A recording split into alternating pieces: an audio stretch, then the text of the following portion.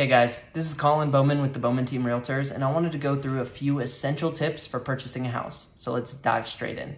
First tip, have your taxes done. Having your taxes done is essential for applying and qualifying for a mortgage. Without it, a lender isn't typically able to get the information they need to be able to approve you for a loan.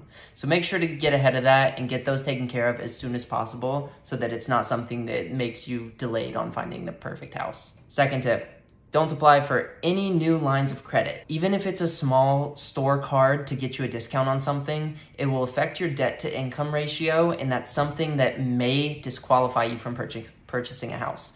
So make sure to talk to a professional before opening any new lines of credit. That also means no closing any old lines of credit. Talk to a pro. They want to make sure that you're in the best position possible to get the best rate and save the most money.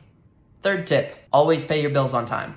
We know that's super simple, but it's something that affects your credit score a ton. So if you have to get rid of a few subscriptions or you maybe have to go get a little side hustle to get a little more money, make sure you can make your payments.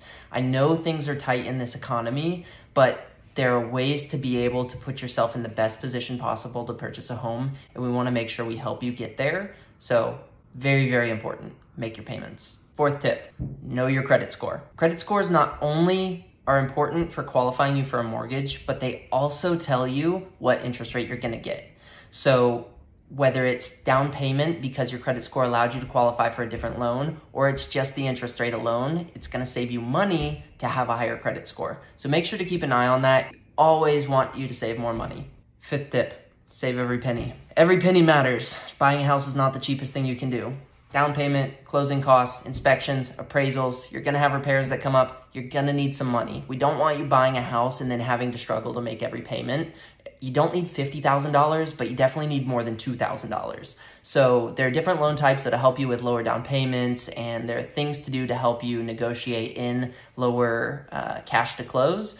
But either way, having more money left over at the end is always better than being just at the breaking point to being able to get a house or not. Final tip, credit repair. If you get all these other things done and you're like, my credit's just not where it needs to be to be able to qualify or the interest rate's too high because of my lower credit score, cool, contact us. We'll pair you up with a lender. We've had people go from a zero credit score to over a 700 credit score in less than six months. Now, credit repair might take more time if you have to pay stuff off, but our lenders will tell you which ones will impact your scores the most so we can get you there quicker than you just having to guess on your own.